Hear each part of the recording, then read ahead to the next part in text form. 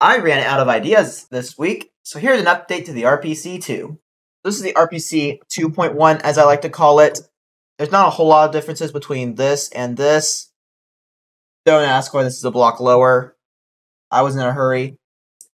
Basically, the benefit to this is that it now allows you to control register 1 and register 2. So in the original RPC, you could have it set this one, but this one would just automatically set. Whereas in the RPC2, if I zoom in and crouch, you can see that there's a repeater right there, and that's what it's using.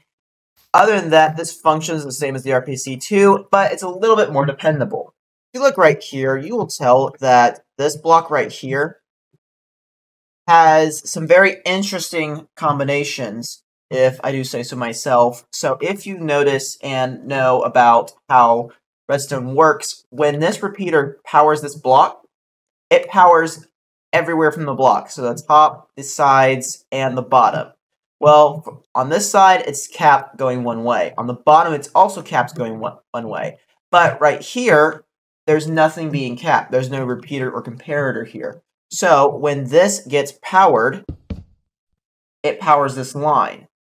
And that's not how it's supposed to work. So in the new design, if you just get a good image right here, you can see that I've adjusted some very small features. So you can just flip back and forth between these two images to get the gist. Basically, the repeater is just the same, but instead of having a block here, we have a torch right here. And then instead of having a line of dust go like go like that and have this go up right up here, we just place a block like so and it automatically powers and goes to the bottom line. So if you haven't noticed, there is a huge orange line here in the RPC 2.1 where there's not any in the RPC 2. This just makes it easier for me to recognize where the adjustment is, especially for the big update. Um, so this line allows you to adjust which register you are manipulating. So currently it's just set to 2, but if we gave it a signal strength of 5, then it would be setting register 1. In the mm-hmm. RPC 1, I had 3 and 7 go to register 2 and 1 respectively. And this one, is just 5. How this works uses a very interesting design. It's similar to a NOT gate. So basically what happens is that this torch right here is powering this redstone dust, which feeds into this comparator.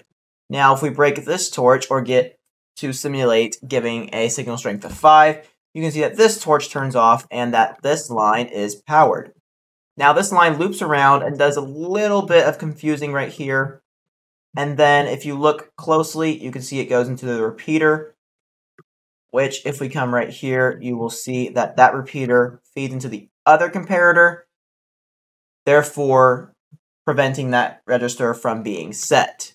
To adjust the RPC2 into the RPC 2.1, you're going to need to make some slight modifications. So for instance, we're going to come right here and break this and place a torch right here to allow this circuit to be built. And then we're just going to break this like so.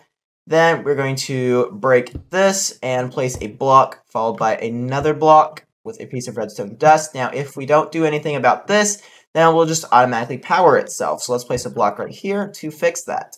Now for the second register, we're going to place a repeater right here, followed by a piece of redstone dust, followed by a block with a torch on it. This now prevents the second register from being set. Then we're going to place a redstone dust like this. Now, if we don't do anything, then when this gets powered, the second register can be set.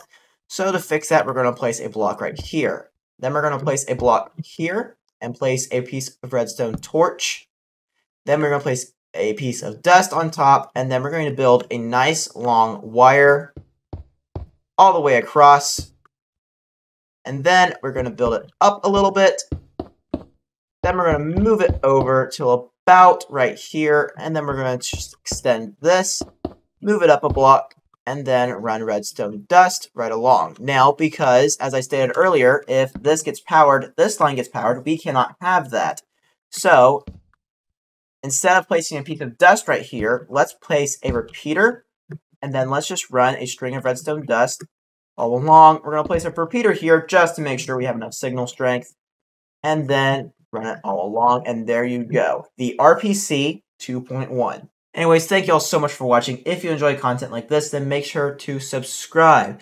I'm pretty much the only active Redstone Hex YouTuber, and you can find videos here you can't find anywhere else on YouTube. If you have a question about this design or are having an issue with it, then make sure to either post it down in the comments or on my Discord server. The link to that will be in the description.